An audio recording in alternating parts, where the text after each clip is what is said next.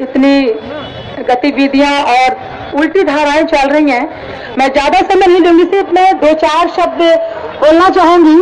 और अगर आप लोगों की सहमति हो तो प्लीज़ एक बार हाथ ज़रूर हिलाएँगे क्योंकि शायद ये मेरा पहली बार होगा कि मैं अभी स्टेज पे कुछ बोलने की अनुमति ली है और बोलना चाहूँगी।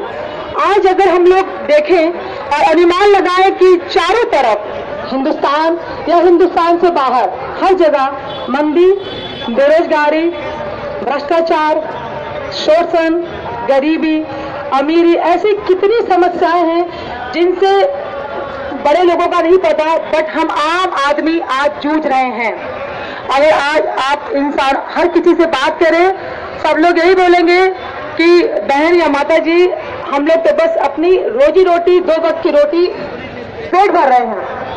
और मेरा जहाँ तक कि मानना है कि हमारा अगर इस धरती पे आज हम जन्म लिए हैं और इस नेचर में, प्रकृति में हम लोग हैं तो अगर हम लोग उम्मीद लगाए और देखें तो इस दुनिया में पूरी भरपूर संपदा हमारे पास है।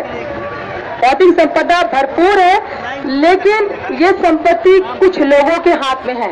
जैसे अगर मैं आपको एक बहुत छोटा सा उदाहरण दूँ तो मेरा एक घर है, घर में दस लोग हैं और मैंने दस सेब खरीदे अपने बच्चों को बांटने के लिए। अब उस दस लोग की वजह अगर दो सौ लोग आ गए तो उस सेब को कैसे बांटा जाए? बंदरबाद चालू। लड़ाई, झगड़े। तो प्रकृति में जो संपदा दी है, वो सीमित है। बट उनमें से जो संपदाएँ हैं, वो कुछ ही लोगों के हाथ में है। अगर मैं ये मानूं कि एक, जैसे मैंने अभी आंकड़े निकाले हैं कि सिर्फ़ मात्र एक परसेंट लोग दुनिया की छियालीस संपत्ति के मालिक हैं।